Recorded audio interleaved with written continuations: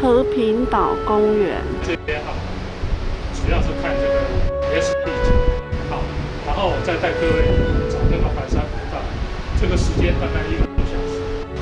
和平岛是离台湾本岛最近的岛屿，你知道它在哪里吗？全岛坐落于台湾基隆市的中正区哦，基隆港的东北方，以台湾第一座跨海大桥和平桥与台湾的本岛做连接。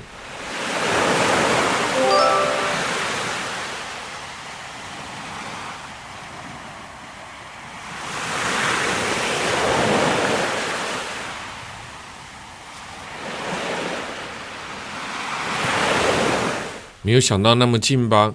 我们的绕着台湾一圈旅游呢，七天，第一站就来到了基隆的和平岛。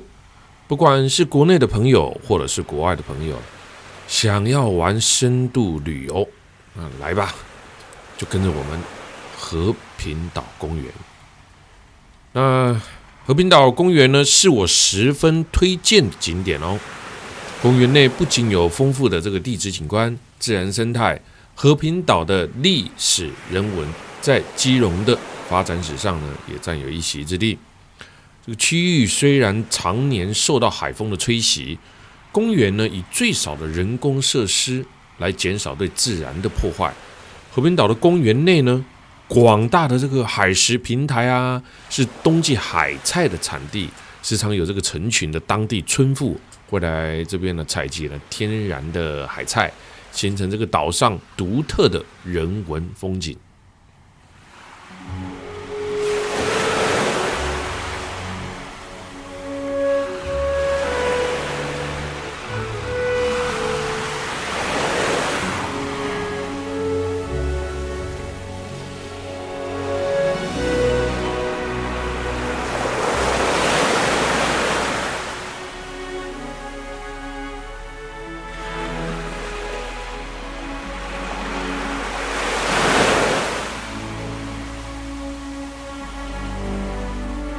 这个叫川崎，啊，川崎这个最实用的啊。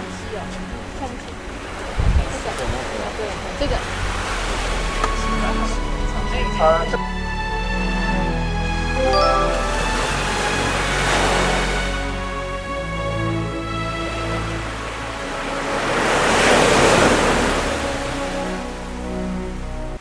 和平岛上有着两千万年的岩石地景，其实秘境并不遥远。就在基隆的和平岛公园啊，而且啊，谁说海边啊一定要配艳阳高照、阴天凉爽的天气啊？其实啊，更适合睁大眼睛看海的宽阔与自然奇岩。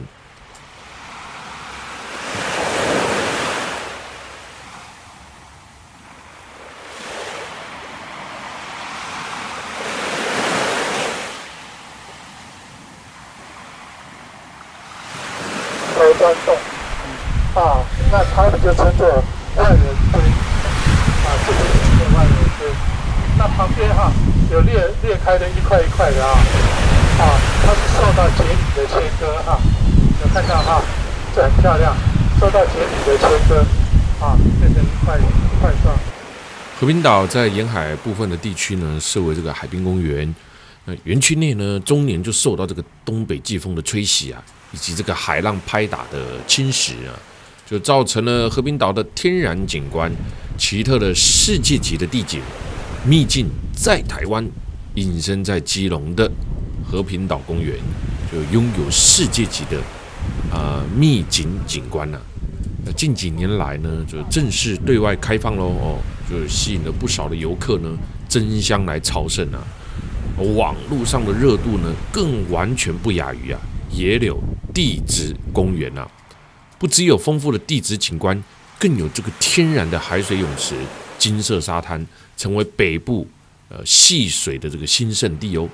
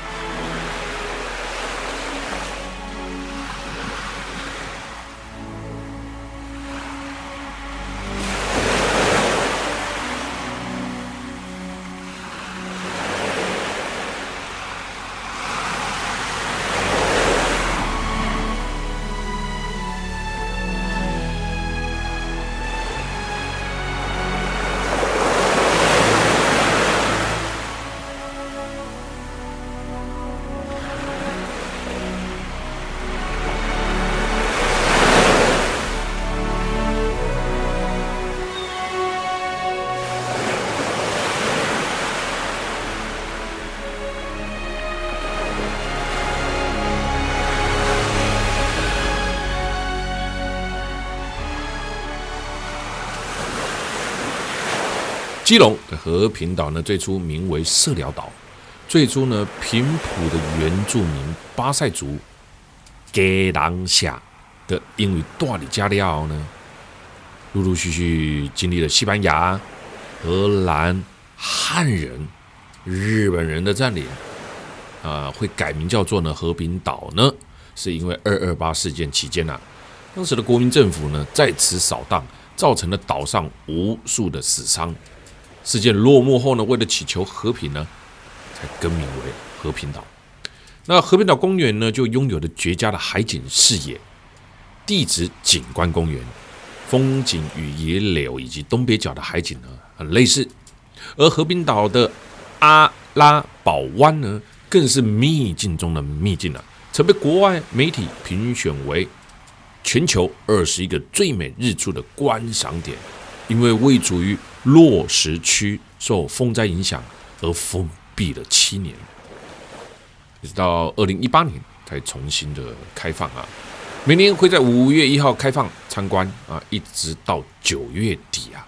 因为每天呢是这个依照呢潮汐时间进入啊，早上九点半或下午一点半了，所以想要在阿拉堡湾看日出是无缘的。进入阿拉堡湾，每天呢仅提供三百个名额。且必须在七天至和平岛官网完成预约，并完成付款哦。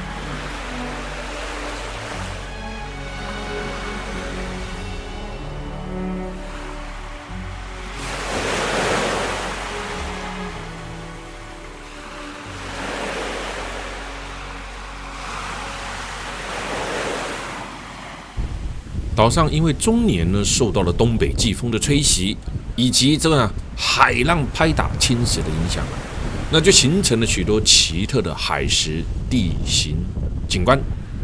哎，现在呢来上科普教室，在台湾我们一定要了解影响台湾很大的季风，随季节变换的风叫季风，东北季风也就是造就台湾东北角的地形哦。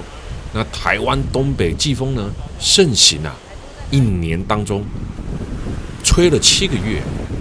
那季风呢，以亚洲的南部和东部最为显著啊，因为呢，亚洲的内陆啊，在夏季的时候呢，地面那受到了这个太阳的热量之后呢，那温度呢增高，它就形成了什么一个广大的低压区啊。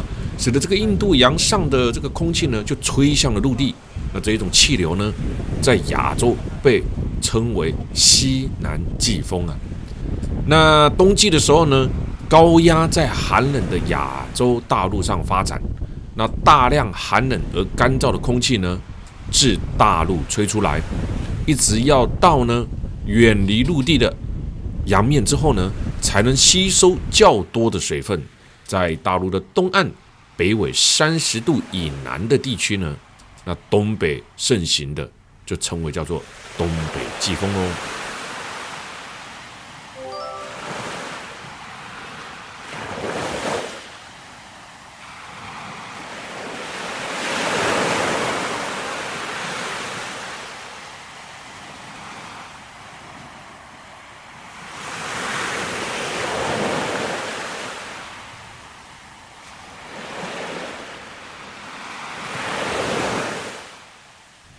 在冬天，大陆高气压南下，伴随这个前远的冷锋面呢，那通过了东海到达台湾附近海域时，带来强劲的东北季风。台湾的北部以及东北部，在受到这个东北季风影响的季节里，经常呢就呈现的这个有小雨的这种天气啊。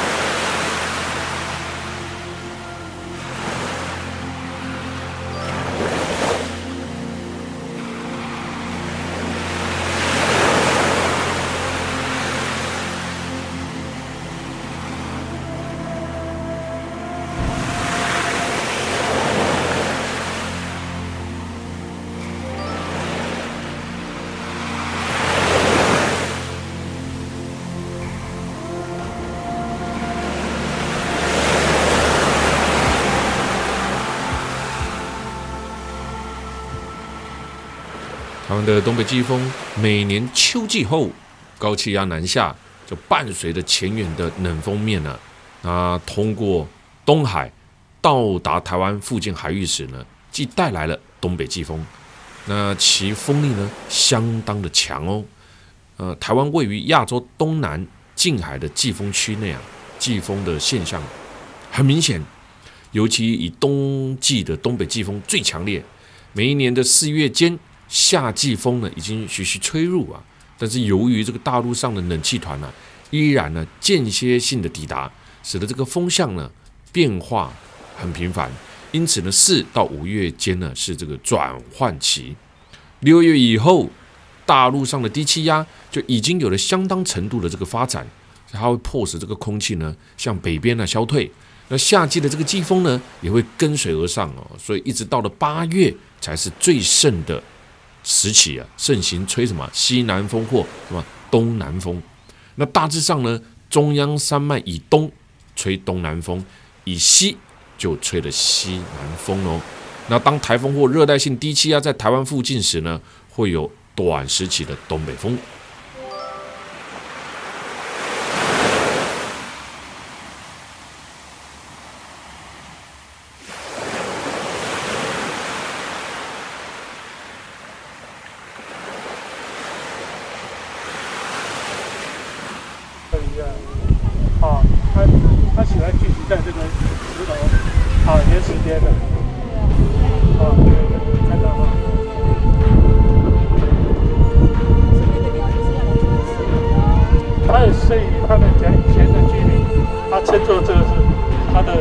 他家他家的冰箱了啊他要他要吃鱼他来这边摘啊吃啊都很新鲜的啊啊吃海菜这边摘一摘啊他春天的时候是绿绿的一片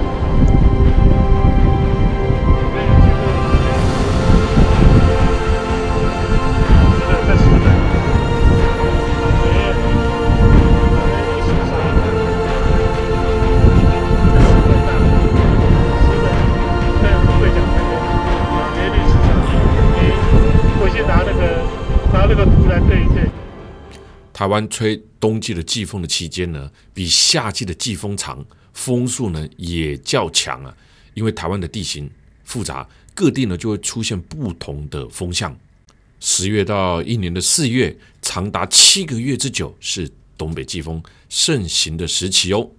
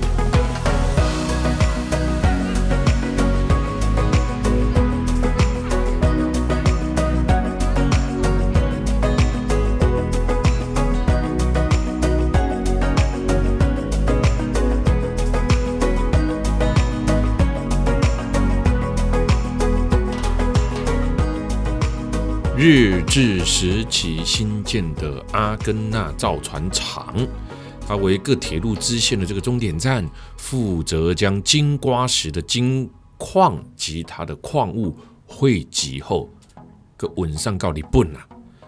哇！我当日治时期结束后呢，他就租借给建造游艇为主的美国公司阿根纳造船。虽然现在已经荒废了，但此地呢仍以这个阿根纳为此命名啊。因为裸露的这个钢筋水泥啊，很有现代颓废的这个风格，那就成为民众拍照留念的著名景点了。连拍摄著名电影《美国队长》。好莱坞明星啊，都曾经啊来到这个地方拍摄广告来取景哦。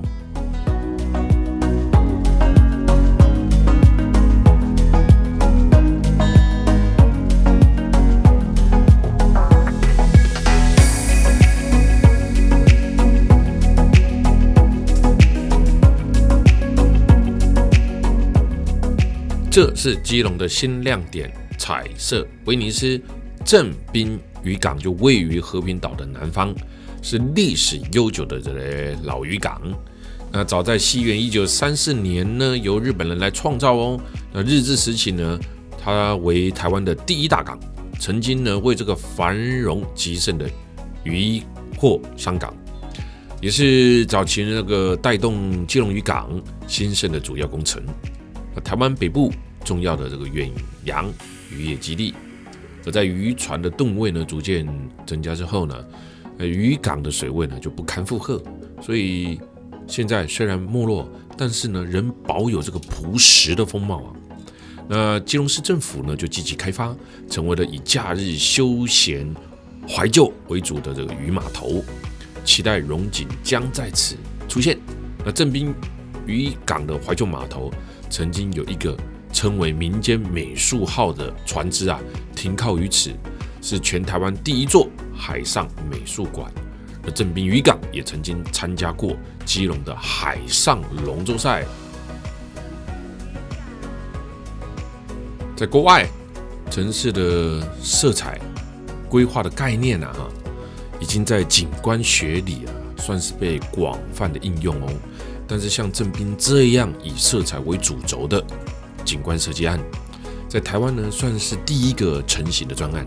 你别以为只是看到十几栋房子啊漆上颜色，很简单哦。实际上要色彩协调，融入现有的景观，都需要有专业的协助啊。那整个计划从两年前由基隆市政府都市发展处呢开始推动，直到二零一八年工程呢才告一段落哦。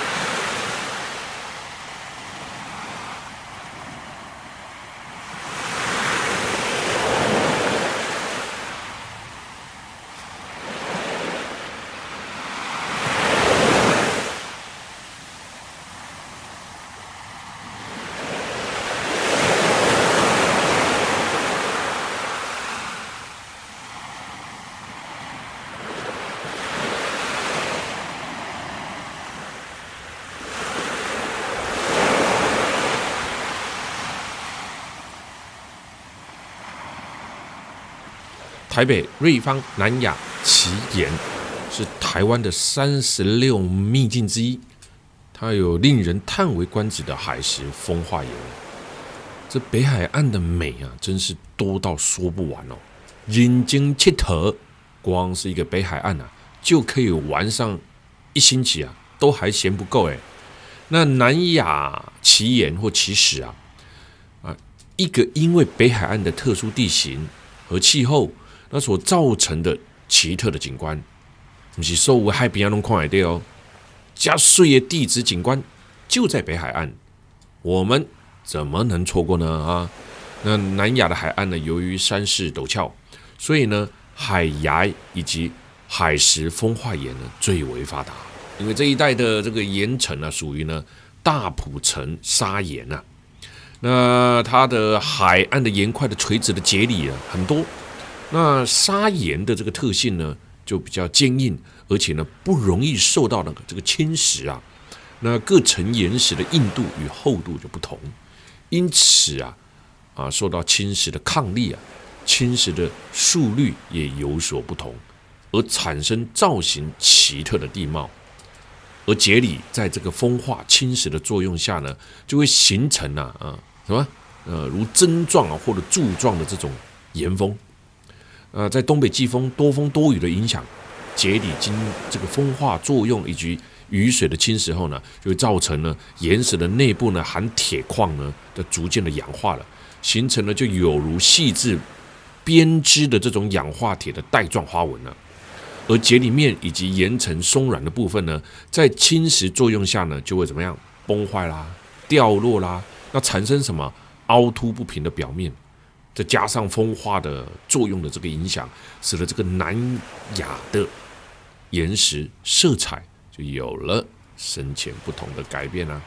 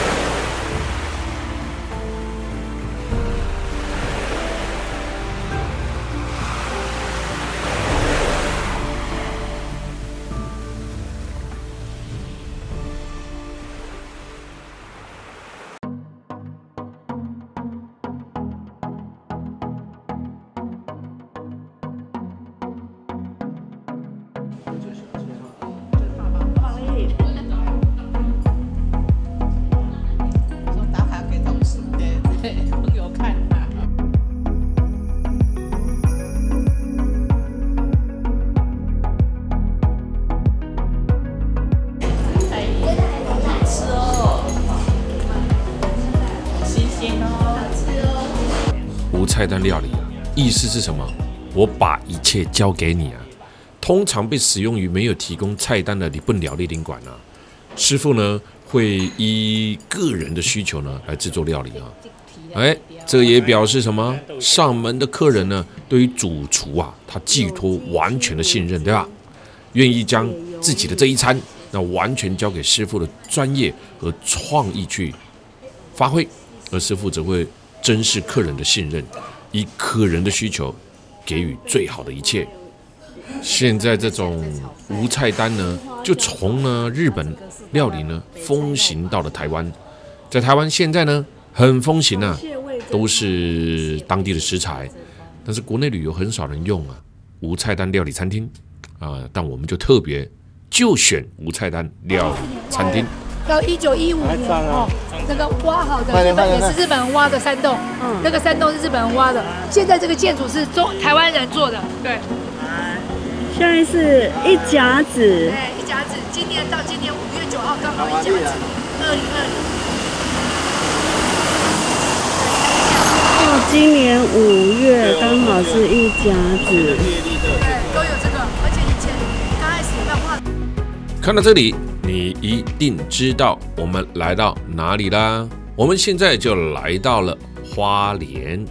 我们的政府呢，为了象征呢台湾的第一条东西横贯公路，所以建造一座扁题“东西横贯公路”六字的牌楼啊啊，亦称为这个东西横贯公路牌楼。这条公路呢，便是现今常常称呼的中横。公路是一座外观具有中国宫殿式的牌楼，主题呢就采这个三间四柱三楼式，屋檐形式呢为单檐无殿顶，上面呢附有金黄色的琉璃瓦。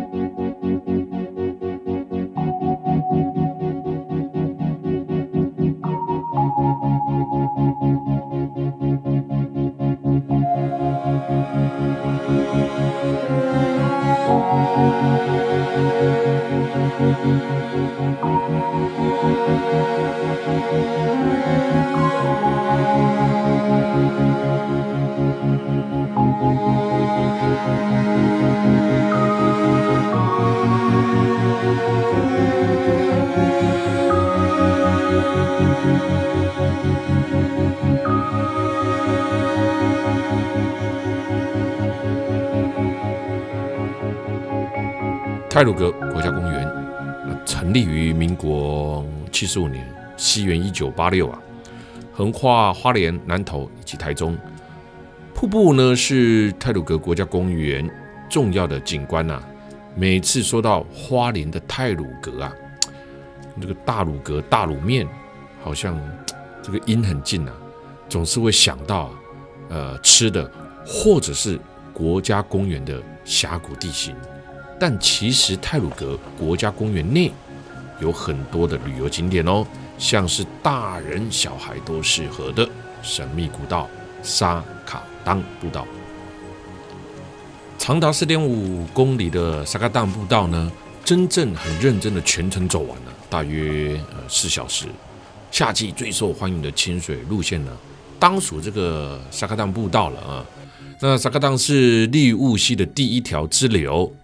那沙卡当溪中下游溪谷的总称，步道全程都是沿着沙卡当溪左岸的溪畔呢去行走。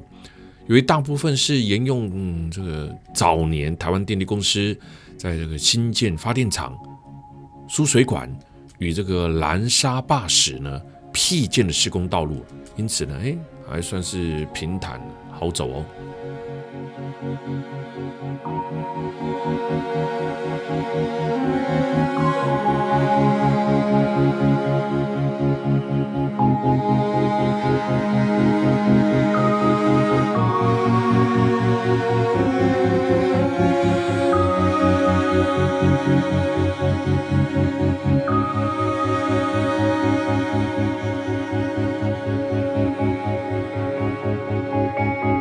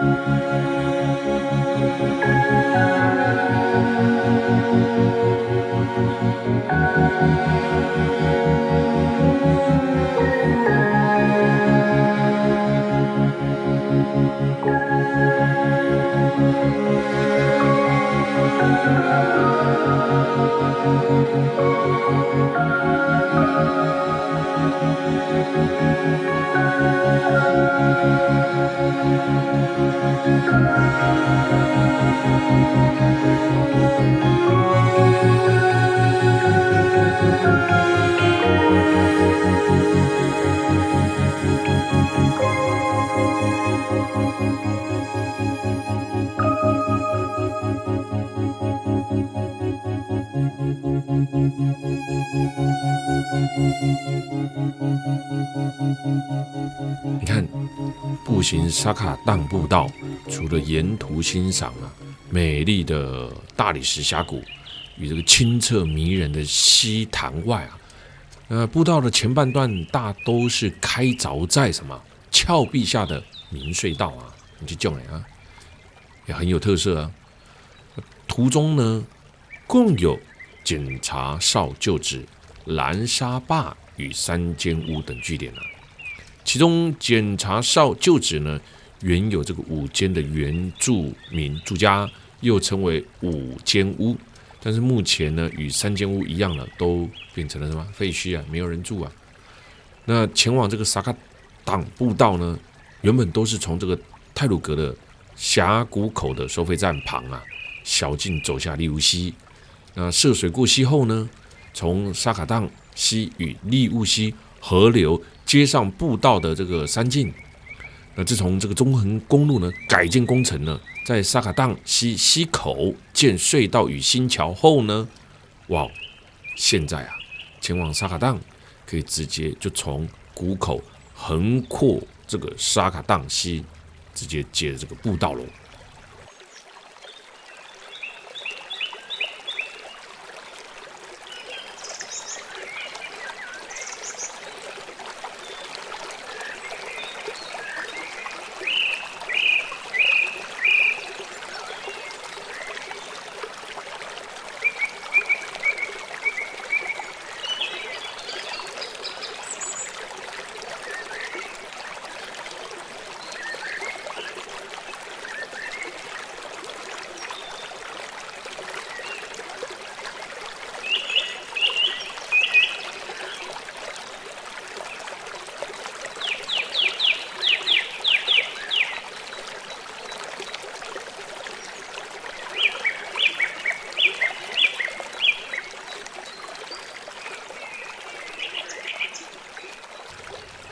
萨卡当西栖息着这个高深茶汉鱼，称高深固鱼啊。日本秃头鲨、大河米虾、斯文豪氏赤蛙等等啊。哇，你喜欢我们做的国内旅游吗？喜欢我们做的旅游节目吗？请支持我们哦。